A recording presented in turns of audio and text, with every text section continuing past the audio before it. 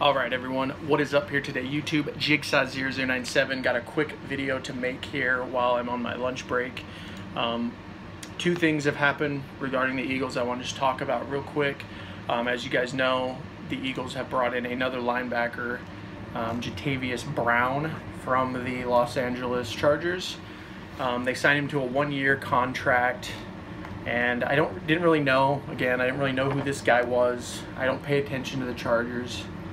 Um, but it says he's 26 years old. He was selected as a fifth round draft pick by the Chargers.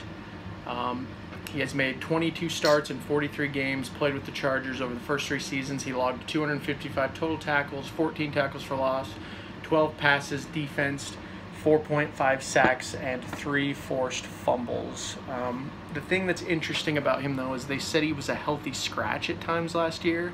So he did have a serious dip in production in 2019.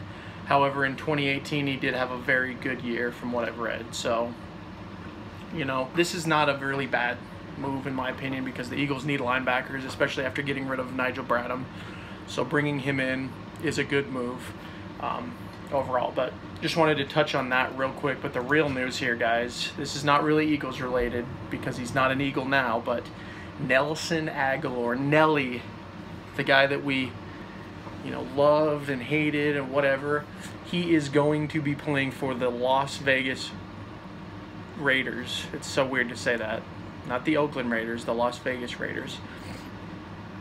Um, it looks like he signed a one-year deal with them. Um, you know, I'm not going to say anything bad right off the bat because sometimes a change of scenery is all a player needs to really ball out.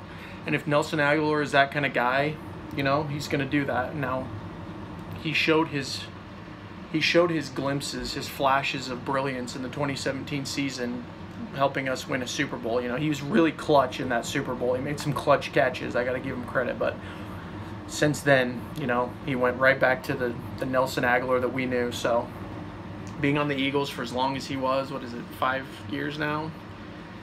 He had maybe one year that was good, and that was the Super Bowl year. So, you know, this was bound to happen. I'm glad this has happened. I'm glad the Eagles have gotten rid of him because, you know, they, they took the shot with him last season. They paid him and it didn't work out. So he, he had to go. That's what I was saying. You know, I defended I defended Nelson Agholor and that was a bad bad decision on my part because he showed who he really was. He was very just ugh, don't even want to get into 2019 and how annoying he was to watch. So he'll be in uh, Las Vegas now with Gruden and with uh, Carr, so we'll see. We'll see what happens. I did hear a rumor that Jameis Winston might go to the Raiders, so who knows? The Raiders are kind of in a, a transition period as well, but regardless of what happens between um, these two players, you know, bringing in Jatavis Brown, I think that's going to be a good thing for the Eagles, and I also think that getting rid of Nelson Agholor was a good thing for the Eagles. So that's really all I've got to talk about. I just wanted to make a quick video because there was some Eagles news today and you know, they got me working from home now, so I figured I'd just make this video while I'm on my lunch break.